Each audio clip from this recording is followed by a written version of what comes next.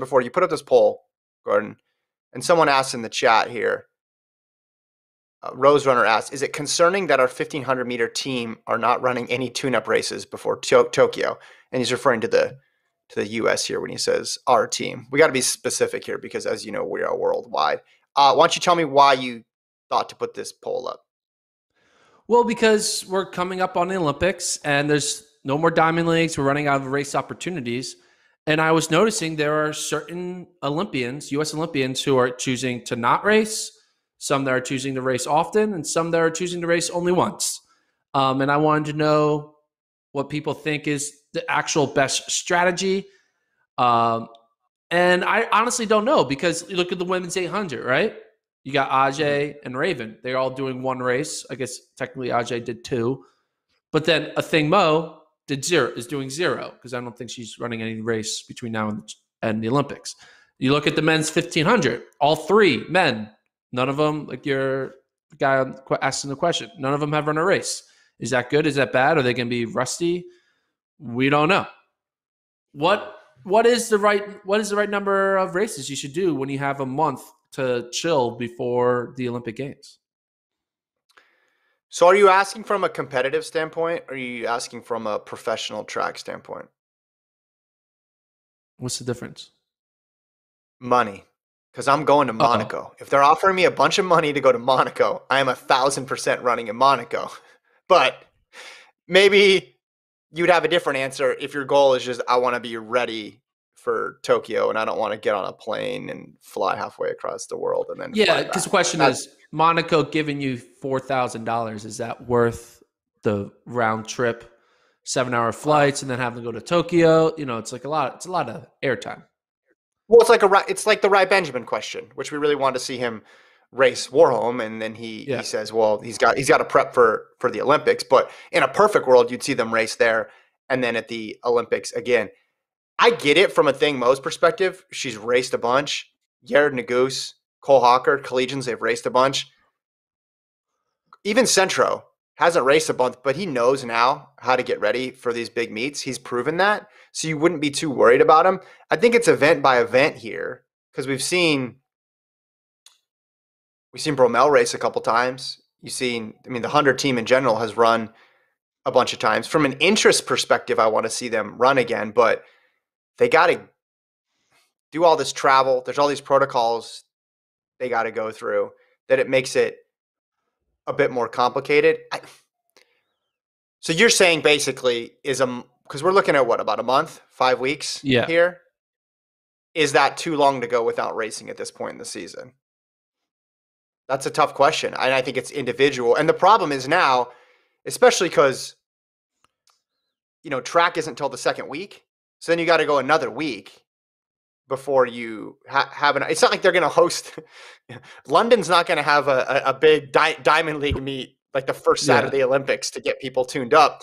And these men and women are so good that they need other. They need big meets or big ish meets or legitimate competition to put out the type of performances that we expect to see. And you're just not going to be able to do that given all the constraints right now and w- with the Olympics bearing down on us.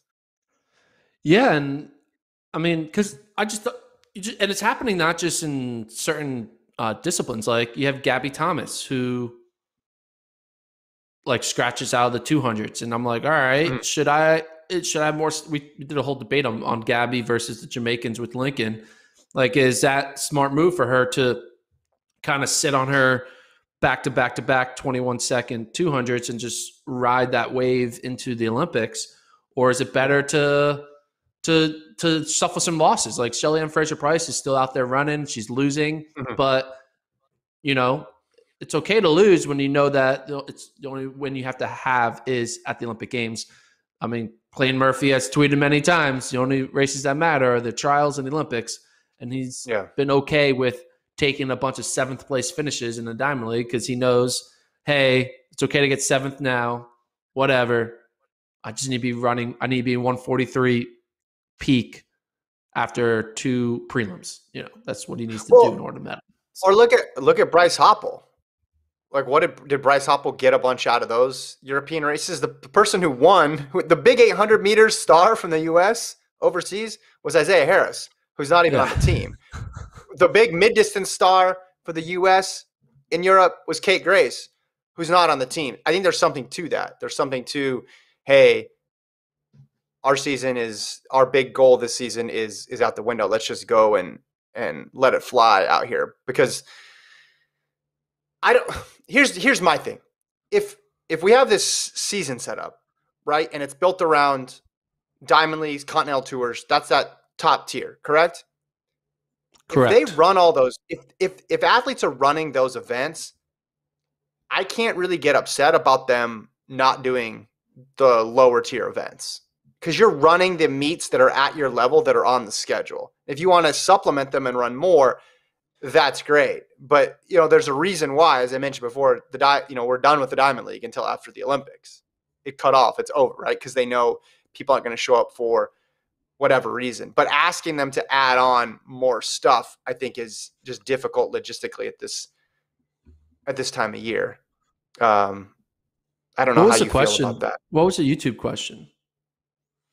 Are- Are you concerned about the fact that the 1500 team in the U.S. hasn't run since the? I am not concerned. I do not lose sleep. This, the sleep is still good. Uh, with well, no. the- If the you were, but if you had like a, if you had a interest in it, like you say you were their, you you were their coach or you're their manager or whatever, just you you had some sort of higher interest other than you just want to see a good Olympics. Like, would you be concerned with the fact that they haven't raced? I am not on the men's side, especially because I mentioned you got two collegians and then you got, and then you got Centro, who even in a regular year is not racing a ton.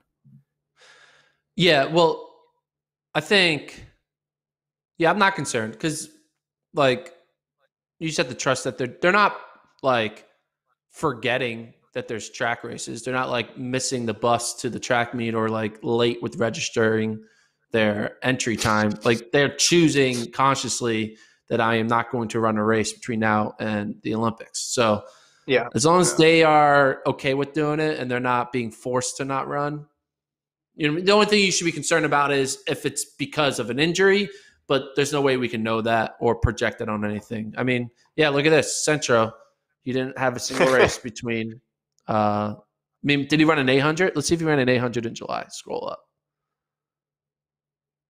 Okay, so he did a couple ATL. 1K. He did a 1K. So, Yeah. but then Yeah. yeah, no 1500s. That's still a long break though. In 2016, he, he went from is it July 10th all the way to the end of August, and he had the one the one in July 23rd. I thought we might see some more US people at the because they had the Sunset Tour races. But I think what happened was the the Diamond League ones jumped ahead of them almost, and because it's Monaco, you're going to get quality fields.